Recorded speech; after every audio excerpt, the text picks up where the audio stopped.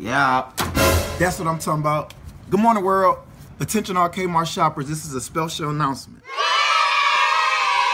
Your boy Kenny Brooks, aka the door to door comedian, world famous internet sensation, will be one of the speakers at the six figure sales conference held by your boy Jonathan Dawson like Creek.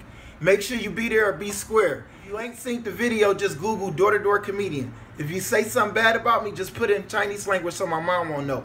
Everything else is uncivilized. That's all, folks. Looney Tunes. We out.